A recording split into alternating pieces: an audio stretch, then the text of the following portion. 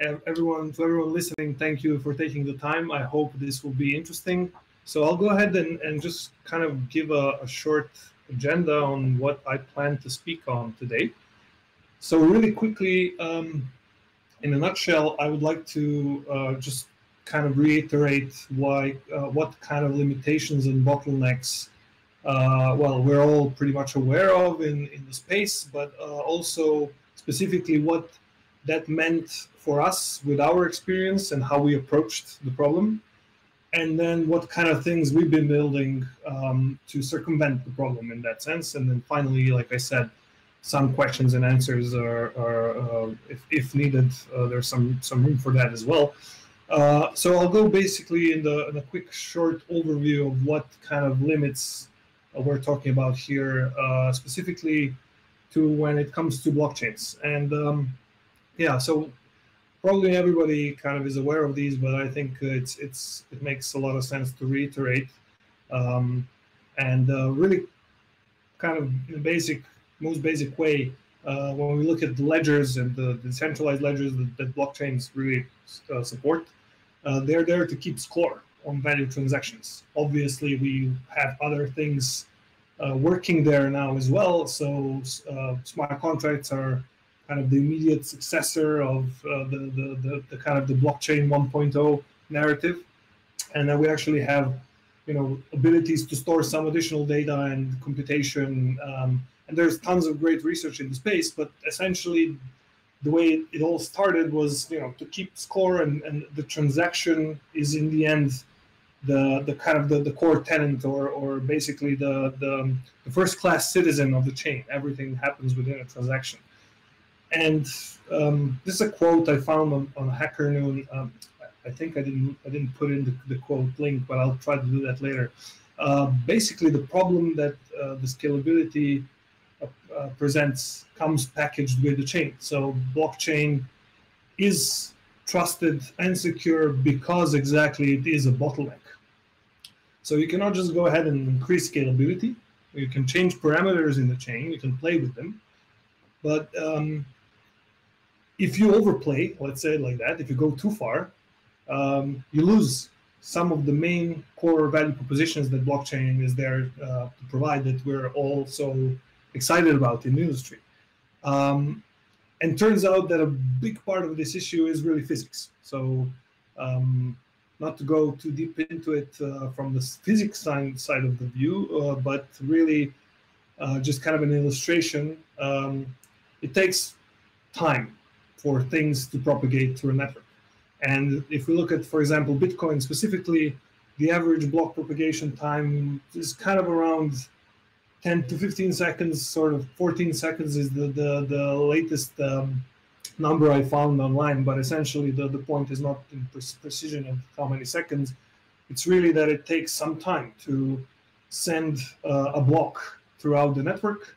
And because it's not instantaneous, because uh, well, we, we don't have limitless, uh, you know, throughputs of internet connections, and that's very visible today in this uh, unfortunate situation where uh, we're basically a lot of us are working from home and internet is very strained. Uh, situation where I'm, I'm not sure if, if you guys are aware, but even the, here uh, in Europe, the European Commission has asked um, the, the video streamers like Netflix to lower the, the high definition uh, streaming to, to standard definition so the internet doesn't break, essentially. Well, um, in, in, in, having this in mind, that the, the actual physics problem is that no matter how much we play with parameters or innovation we introduce, uh, we cannot go faster than, well, the speed of light, or we cannot like go faster than the internet can go uh, at this moment in time. So what, what it really uh, turns out to be is that if you want to try to go faster, you have to try to do something. Like, uh, for for example, in Bitcoin, you have about ten-ish thousands of nodes that are all needing to to get consensus, and consensus over an entire network has enormous costs. Over over any proof of work network, especially because we're all pretty much aware how much um, uh, it's it, it, it, actually costs to mine uh, on a single machine, and rather than that, how much the, the entire network costs. And there's not just the um, monetary costs associated to it, but obviously tons of environmental costs. And I won't go that way. I'm sure everyone's pretty much aware of that. But it's it's kind of interesting when you zoom out a bit and you realize why. And it's, it's because it's really uh, the consensus costs tons of tons of uh, cash to, to do in such a way that we're doing it. And this way, uh, the public blockchain proof of work way is really um, that every node in the network has um, the ability to validate uh, what's going on on the network. So then basically they need to get the, the block, they need to process it. Um, all of this has to take some time. And because of this limit, you can increase the block size, but you know you're not going to change the limit. You're going to have a bigger block, you know, going through the network with the same sort of throughput, and then it takes longer. Or um, what you can do is uh, you can uh, you can do many different tweak, tweaks with the with the whole uh, network, and I'll briefly touch upon that. But essentially, the physics we, we haven't learned yet how to change. So what happens is, if you want to specifically look at the data storage problem, a lot of people, I think, still are trying to um, store too many things on the chain, and um, it's already a pretty big challenge, especially when we look at public blockchains. So if you look at Ethereum, so one kilobyte of data is kind of constantly around one dollar, and uh, just really kind of from the perspective of how much that costs, it, it's really it doesn't seem so big. But if you go up to a megabyte, which is a little hard to, to fit in uh, in a transaction on Ethereum, uh, but you know you're you're kind of in the realm of thousands, um, and and it's okay. And uh, what, what I'm trying to kind of point out is that it's fine. It's it's not designed to do that. So blockchain um, is is great for certain things, and especially in the context of trust. But in order for us to confuse it with databases, uh, that that would be a kind of a, an error, and that's why uh, there's quite a few really interesting solutions that obviously store data off chain. Uh, one of them is Swarm. I think Victor is speaking later. Victor Tron from Swarm, uh, really really impressive project, and and uh, really uh, I'm excited to, to to see his talk. I've seen him speak before at conferences, and um, and their work has been really, really amazing. Um, and it's really hard. I, I know uh, from from what we've been working on, we've touched on uh, upon some problems that they are trying to solve within Swarm, which is uh, for for those of uh, you who might not know, uh, basically a peer-to-peer decentralized storage as part of the Ethereum ecosystem um, of, of the original three projects, including Whisper. And the idea, uh, obviously, is to um, do uh, basically hash addressing of, of data chunks on the, on the on the on the network. So basically, it's not a consensus network. Uh, but but the, the whole idea there is obviously not not new. So uh, storing data off chain on it, but still in a decentralized scenario, uh, makes makes a lot of sense. Um, but specifically for chains, we've seen what, what we can do to get some more throughput out of them is like going multi-chain or sharding. And I'm pretty sure everyone in, in the ETH uh, world knows about 2.0 and what approaches are taken there. And I would argue it's because we are, well, we're not able to circumvent physics. That's kind of the most simplest answer. I know I'm oversimplifying it to a degree, but uh, it, it, I think it suffices. And uh, so basically, when we look at Ethereum, we're going to have a lot of different chains that uh, work together somehow in, in some uh, amazing magical way with, with the Beacon chain. Um, and then we have Cosmos, which does uh, something similar with uh, another um, little different multi-chain approach.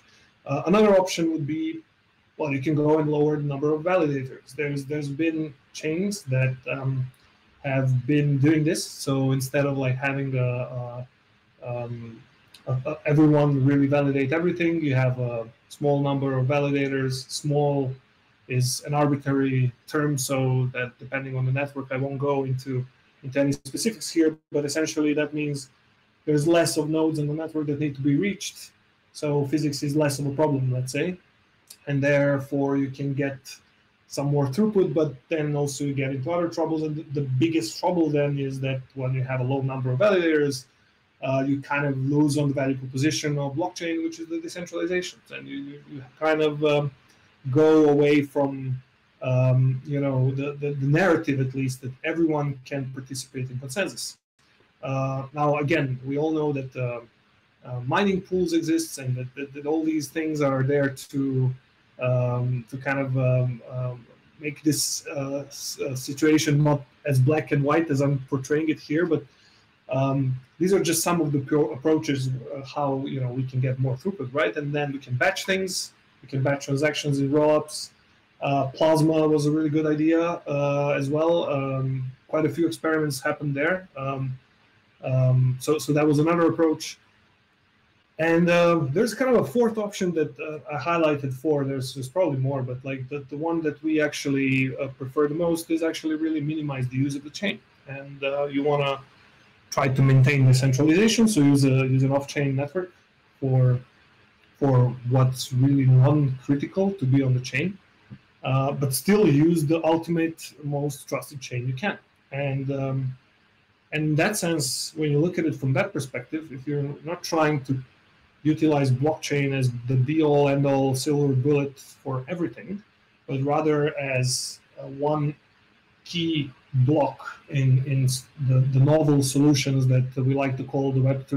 Uh, but really, I believe everything uh, will, will at some point in the near future have a component that, that needs to incorporate this trust which blockchain will bring.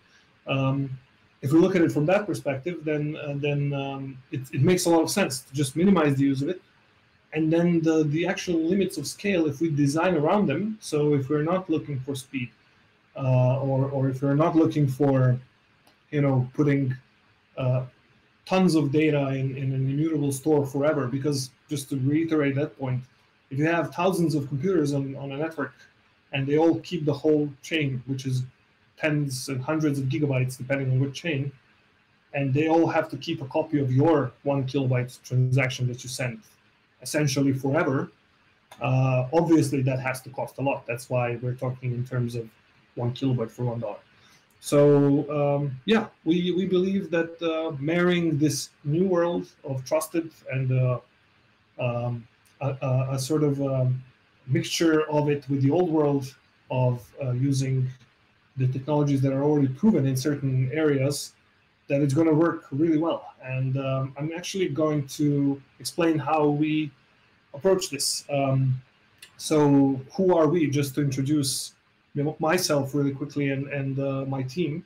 So, uh, we are uh, actually Trace Labs. We're a company that has spawned the Origin Trail ecosystem, and Origin Trail um, actually being a project from already from 2013. Uh, so we've been working on supply chain issues specifically, and our slogan is to ma uh, making supply chains work together. Um, I'll, I'll, go a little bit deeper into this. Um, so, uh, but really quickly to to reiterate on on what kind of um, uh, what kind of problems we're trying to solve, and then then I'll explain how we went about them and what we learned on the way. Um, essentially, we're looking at really specifically supply chains. And um, I know they've been put in context of blockchain quite quite often. Um, it, it's like the killer app, right, for blockchain. Um, well, I'd, I'd, argue that um, not entirely, not blockchain alone. Uh, we need additional tools, and but blockchain is a very uh, key component in in the the problem solving that uh, that I'll try to, to explain hopefully well today. So what we're looking at is a slide that illustrates kind of a very generic supply chain where we have uh, someone from like a primary producer that would be a farmer, a processing facility, so that would be maybe your dairy producer, some distribution, warehousing, and then in the end the retailer. That's where you as a shopper go and, and purchase your product. And for example, here in, in, in Europe and the EU specifically, there's a specific requirement that every company along this chain needs to conform to uh, certain traceability standards. This standard basically says that every company needs to know what happened the step before them and the step after. So that's uh, that means if I am uh, the, the, warehouse uh, in this example, I need to know who is my distributor, which makes a lot of sense because they distribute to my warehouse, and then I know who I. I need to know the retailer who I kind of sell this to, right? So, and not only do I need to know this, I need to keep record of this. That's that's kind of the whole idea. So, the, uh, the the problem there is that nobody really has the visibility of the whole chain. They know what's one step behind them, one step forward, but um, it's it's really hard to establish what's going on. And this has shown uh, quite many problems uh, over over the past decades uh, from from the food industry where we had counterfeit uh, uh, actually fake meat and and fake all kinds of fake fake products um, I'm sure everyone's heard of, of the scandals uh, that were also happening with horse meat, uh, but also in other supply chains. Really, it's not really limited to, to food supply chains. And um, so I'm, I'm going all the way back from, from, from the actual problem in the world and try to attach it to the problem in the the technology. So I'll get get to the tech very soon. But just so really quickly to reiterate, the idea here is that you have a bunch of companies, a very decentralized scenario, and they all have some data. They have a data silo, uh, essentially, something, some system that they already use. Maybe they've been using it for for decades. Who knows? But it's usually some ERP system, or sometimes it's even a spreadsheet or whatever. And you have all this data scattered all around uh, and no one really has one place to look at it. So ideally, um, you would have a, a, database or some sort to you know be able to see what's what's going on, uh, and that can enable all kinds of applications. I'll mention, I'll show some of them today. Um, but basically, there are tons of underlying smaller challenges here. Smaller, they're pretty big by themselves. Just the whole uh, problem is is quite quite big. Actually, the problem uh, turns out that, that a third of supply chain executives cannot uh, guarantee, cannot claim that their the ingredients in their food are not fraudulent. So that's a pretty kind of uh, scary thought that you think that one third of the people that are running our our food systems are are well, they are not sure, and they have the eyes on everything. And the issue comes down to several things, but like one of the things is that I mentioned is very different IT systems, landscapes. Even the, the, companies that are building these systems are building them in such a way so that they are centralized. So that if you buy something from that company X, um, then if you want to upgrade, you would need to buy the other thing from company X again. So you're kind of locked in, and it's called vendor lock-in. Probably most of you have heard of this problem. So there's no really incentive to connect you to another system so easily. It's actually the opposite to close you in. Um, then we have tons of various data models, and then this is uh, actually you know taken into kind of a, a good um, uh, the, the, good approach there is to standardize data models and actually get standards on, on how you you know uh, handle data. But also then there's the issue of how many companies have implemented the standards and to what degree and so on. Finally, you have trust issues in the in the chain. So um, you know, sharing information on, let's say, let's say if we could do it on a public ledger, not, not only that the company would not be happy to share uh, sensitive information on, on let's say Ethereum, for example, because well, then everybody uh, and their competitors could be, uh, you know, well, somehow using this information against them, but also. Um, also for issues that uh, even if you could share it point to point to a certain partner, you, it's it's not uh, it's not your business or your holding company or whatever. So there's there's quite a few trust issues there. Uh, and then especially the trust issue is very strong when you don't know who your partner is. So someone down the chain, let's say in China, uh, which we're pretty much all aware of right now, that there's quite a few supply chain issues because of the whole coronavirus situation. You, just don't know where some things come from uh, quite often, and that's um, that's that's really it's really hard uh, to trust someone you don't know. Um, so these are just some some high level uh, industry challenges when it comes to supply chain data share. Um, so what have we done? We have started, actually started 2011 as a student project, but 2013 we'd opened up the company and uh, we've operated in Europe. Mostly we worked on food traceability and we basically built centralized supply chain uh, solutions. So it was um, the, the, the, core data, um, uh, the core data storage and, and basically management uh, system was SQL based.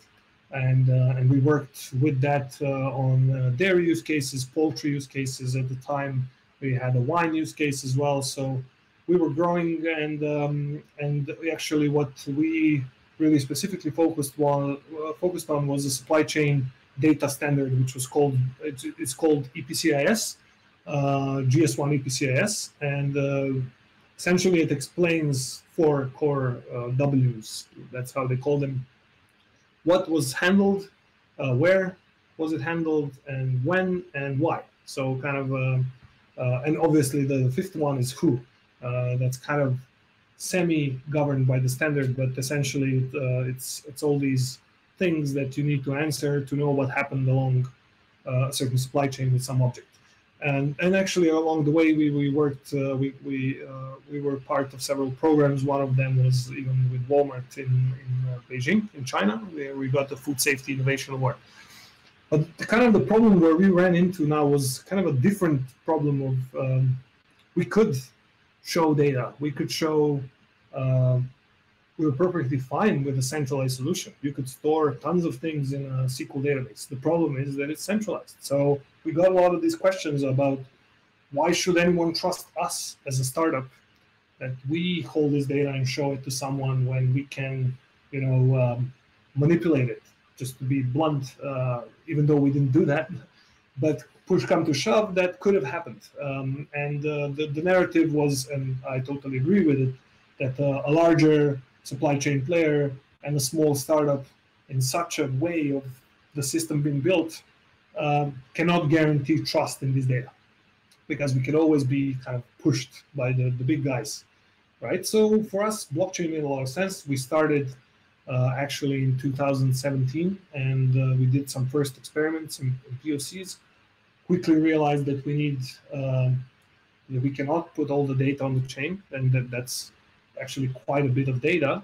But also from the experience before, we realized that uh, one key component that we were using, um, and we realized it when we hit the pain point of SQL, really, is that we were essentially emulating graphs inside of a SQL database. So we had a kind of a huge, um, you know, table where you had all these entities and then entity connections on the side, basically edges and vertices, and then you would have a kind of a, a the longer the chain, you kind of had a weird growing join situation where there was a join after join, and that in a while it becomes actually problematic and expensive.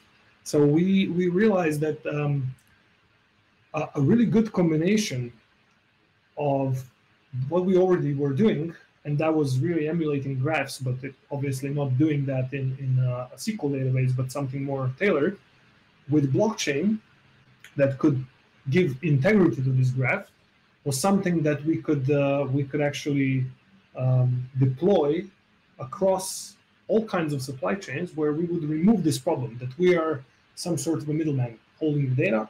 So we're no longer there to to to to uh, have any sort of issue uh, on that end and that's why we spawned the uh, the actual origin trail decentralized network which operates on the origin trail protocol so these nodes i'll explain a bit further how they work uh, are essentially there to hold a decentralized knowledge graph. Uh, so a bit of a specific situation when it comes to off-chain data storage and, and uh, management and sharing. And where we're heading to today is actually we're building uh, another product which is called the Network Operating System or NOS. The idea with NOS is to, and by the way, Origin Trail is completely open source. NOS is is our company product where we help other companies onboard. So essentially connect their systems with either the Origin Trail network or Ethereum or even other, uh, for example, Hyperledger uh, ecosystems. Because one of our partners, actually Oracle, where we worked together with them on, on a uh, set of different uh, pilots uh, in within the Hyperledger space. Um, where the idea actually that Origin Trail is able to help observe these systems as well as certain data sources. So I'll try to explain that on, on one of the next slides, but um, really briefly, just to, to touch upon what the Origin Trail ecosystem is about. Um, we, we really um, try to emphasize this because we, we believe it's um, the most important thing, and that's why we went into into such an endeavor, is that there's actually three key things that we're trying to achieve. We want to stay neutral, so that's one one of the key pillars of the ecosystem is to be neutral. That's why the technology is open source, uh, and it uh, it should not favor any sort of vendor, uh, any sort of uh, different implementation. And in that sense, uh, we're trying to build it in such a way that it doesn't even uh, necessarily favor a specific um, a blockchain, so that you can actually uh, take it and implement it with another blockchain if uh, if you see fit. So um, in a way, blockchain agnostic. But also um, the the problem I mentioned uh, regarding you know just the business side of adoption was that uh, well not only that that uh, making a centralized system was one, the other one was how do we connect these parties to work together and uh, that's where inclusiveness comes in. So we spawned uh, actually an organization, which is a business organization called Trace Alliance, where the idea is to uh, try and, uh, and get as many of these parties and supply chains collaborating together without changing the way they work. So not ripping, ripping and replacing their systems. And then finally, uh, making all this usable. I think one of the, the, the kind of the, the, key issues we've all seen in, in the space is that we've been it's really hard to build decentralized systems and we're still stuck in some problems especially, scalability. We're not i don't believe that many companies are devoted have devoted their attention and energy to usability. So the idea here uh, of trace labs and the network operating system is to help companies really you know build easier uh, and, and use this technology today rather than in five years when we have, I don't know, X amount of transactions per second we can do, because we're not really waiting for that. Uh, we, we are waiting for blockchain and the whole decentralized space to show to show really concrete value. And, uh, and, and that's for people in the businesses that I speak to still kind of very hard to pinpoint. Uh, they understand some some of the concepts mostly, but quite often it's not really usable enough, and that's okay. The technology is, in my opinion, is, is kind of a uh, and I don't want this to sound weird, but kind of a lower lower level um, uh, technology where we um, really utilize it so that the end user doesn't necessarily always have to be aware of it, uh, but it, that it can prove uh, and give value to.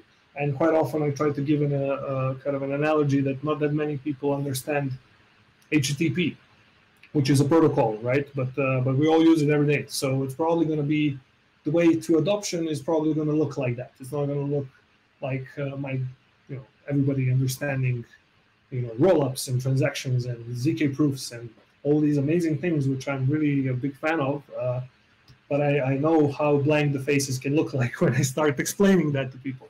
So, so, uh, but really quickly, the neutrality, inclusiveness, and usability are three key things we're focusing on trying to build something. So, if you're building a supply chain application and only one company uses it, then it's not really proving its its value. So, the decentralization makes sense only in an environment where you have a lot of companies collaborating together, changing data, using the the trust of the protocols that connect them and actually having usable applications. And in order to do this, you have to be neutral. You cannot be another a big vendor that uh, everyone's going to come to. It's it's never happened.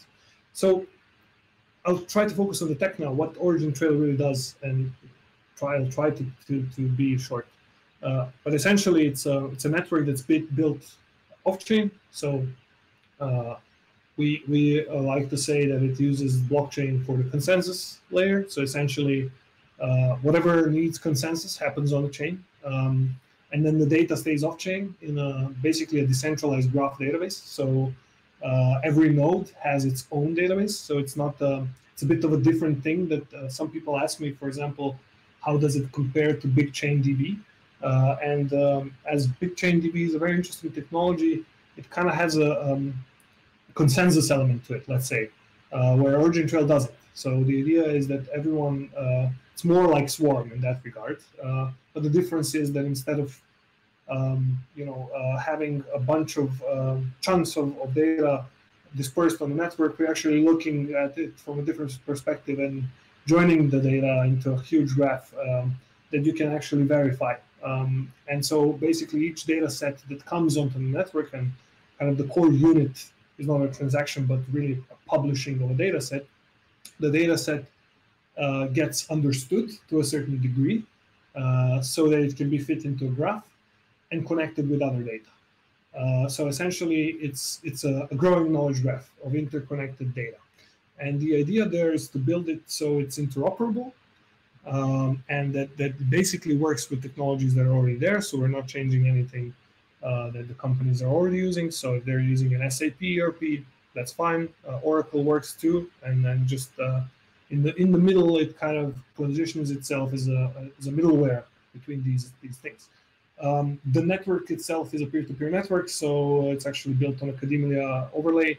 And then finally, obviously, uh, applications can be built on top. Pretty much, uh, I think everyone should, should kind of uh, be aware of that already.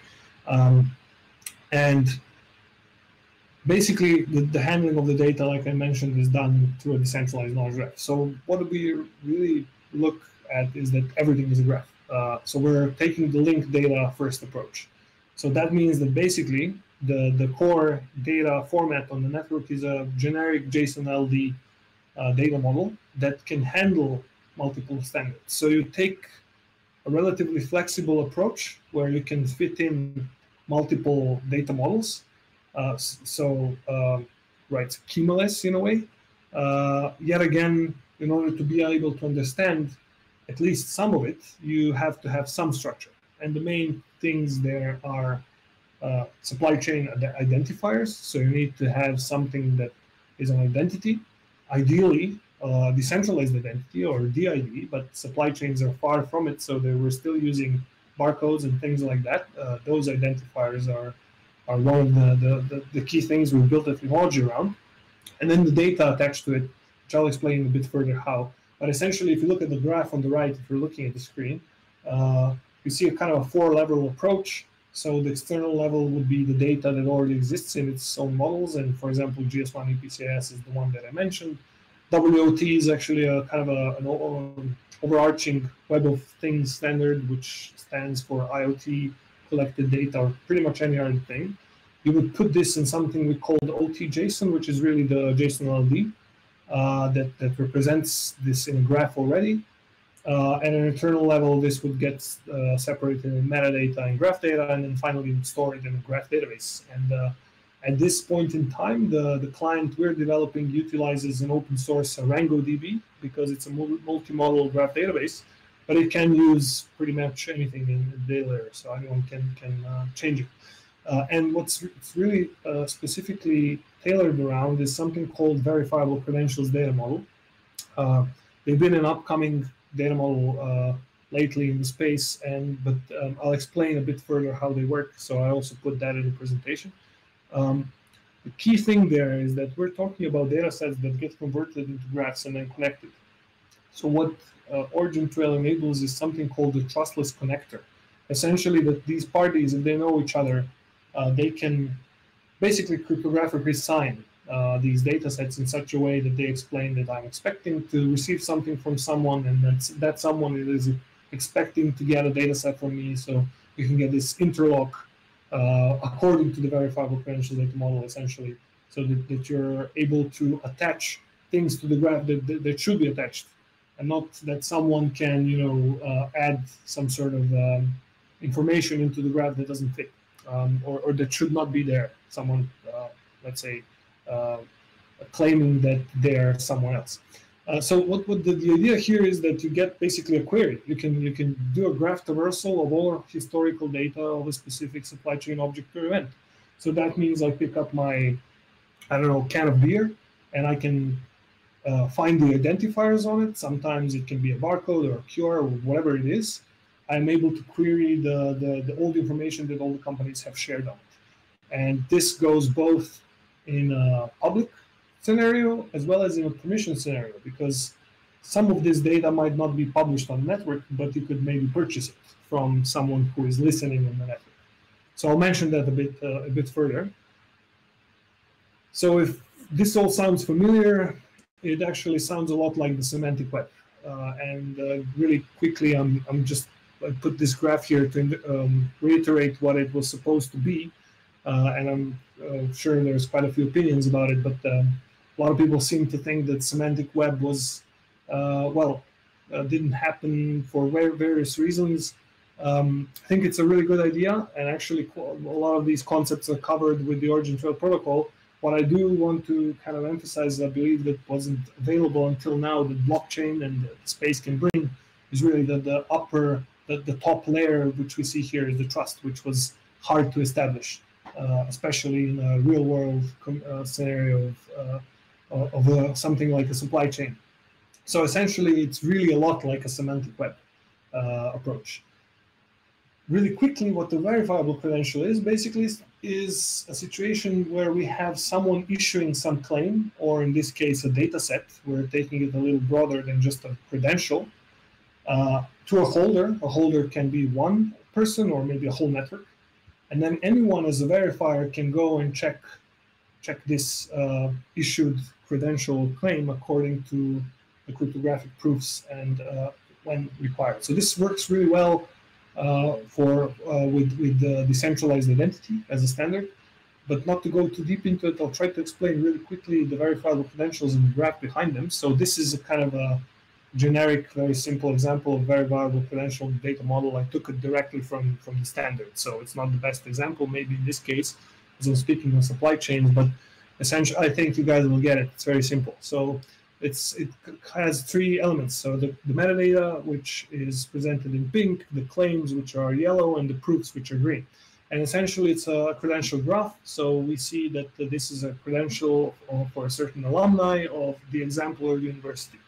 Uh, so we observe data in this aspect, and then finally, obviously, a proof graph underneath with the signature and what type it is and, and when it was made uh, we can always kind of look at every claim in the supply chain in this way. A certain company claimed something happened, and here's a proof. And then you can all put it in a, in a pretty big graph, and you can actually aggregate a lot of these claims so that once you have a very long, very big file of what has been going on, let's say in your warehouse, and it's like 10 megabytes, when you publish it to the Origin Trail decentralized network, um, this data gets replicated around the network in a certain uh, network specific way, which I, I am not going to go too deep into, but essentially involves uh, the nodes being incentivized for storing the data. And then um, what happens is that uh, this data set gets fingerprinted on the chain and certain uh, smart contract, let's say, has the ability to, to govern the relations between these nodes that are holding the data and tokens that they're supposed to receive uh, for, for this work. Additionally, what it does is that if someone were to sell a, a non-public, non-replicated data set through the network, they would be able to be ensured that, for example, if they were to sell a certain claim uh, to someone for a certain amount of tokens, that if they were to send the claim in its original form, which can be proven because it, they're in the verifiable credential model, um, if they send the claim in the original form, they will definitely get tokens, uh, and vice versa. If I'm sending tokens to purchase a certain data set, I will definitely get the, the data in original form, and that's where we implemented the MVP actually uh, algorithm in uh, in a smart contract based on uh, something called a fair swap protocol uh, designed by the Technical University of Darmstadt. Um, but I'll go. I won't go there. I'll try to explain really quickly. So this, the idea there is that we have a verifiable pre presentation that's derived from a verifiable, and in this case, credential, because it's intended to be used mostly for credentials, but the older name for the standard was really verifiable claims. And for, for us, that fits the purpose really well. Um, the verifiable claims, therefore, means that uh, basically we can take a part of this graph and we can verify that it's true, obviously using a Merkle tree-like proof um, and and because we have a a, a, a big finger a fingerprint of the big data set of the huge graph somewhere on on on some chain. So that's what Origin Trail kind of in a nutshell does. And what that means for supply chain is if you go to a store, and this is an example from Slovenia, you would scan a bar of QR code actually. It's not really a special code, it just takes you to a website. where you can input the expiry date and an LOT number of the piece of chicken you actually took in your hand, and you'll see the actual complete trail of what uh, has happened to it, uh, from which farm it came, and, and, what type of events happened in the supply chains, and in the end, uh, the, where you bought it. So basically, all the information shared in between. Um, another case where we've implemented, uh, and this is by the way in production live for, for, for a while already. So uh, Slovenian customers and, and customers in Austria uh, and Southeastern Europe can actually do this with, with the poultry uh, of the producer I showed. Uh, the other one of the other use cases that, that ties in very well is the actually with our partners from BSI, which is the British Standards Institute, where they essentially issue verifiable uh, training certificates for for auditors and business standards. And, and so the idea there is that you can take this certificate and observe it as okay one data set, but you can connect it to other things that have been happening in the supply chain. For example, a certificate that a certain food is organic, uh, which is quite often a, a kind of a challenge. Um, and then if you connect this certificate, this data claim, with the uh, origin or the verifiable trail that's actually changing on a daily basis for every single product, you, you get um, you get the ability of just attaching things together and getting the whole story uh, in a trusted way and verifying it using the Ethereum smart contracts.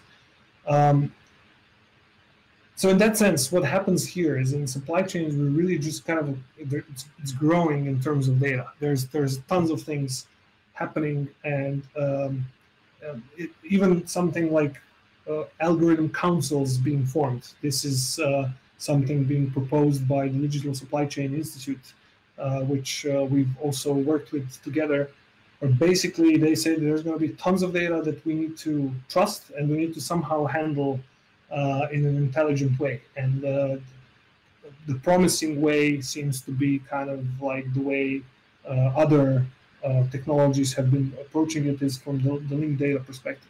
Uh, so that's why we're, this is the approach we're taking. We're, we're taking the, I'm sure you've seen this pyramid before, but the approach uh, that we are trying to, to work towards these problems with is that we're using trust as an element on layer two in this pyramid to give data that comes from various systems uh, integrity and then also structure. That's what Origin Trail is about. We, we basically get to the point where we can connect this so that we can provide knowledge to the customers or, or companies that, that are that are willing to build on top of such systems uh, in order to achieve something that would ideally be a world that we could call Google for supply chains, and not the Google in the uh, bad company centralized Google way, more of an autonomous supply chain, decentralized knowledge graph scenario where everyone gets to participate and exchange the information um, through their part of the graph and on the part that they see. Um, so yeah, that's that's basically kind of what we've been doing and how we've been approaching the problem. Spot on. I love the separation of off-chain data and and and using the on-chain stuff where it's important. And I love the philosophical space and the, the social space that you're coming from. I am so honored to have you here joining us in our first virtual conference, Ben. Very honored to be here. Thank you so much. And uh, yeah, uh, once again, uh, have have a great rest of the conference. I'll stay here. I'll uh, I'll listen in.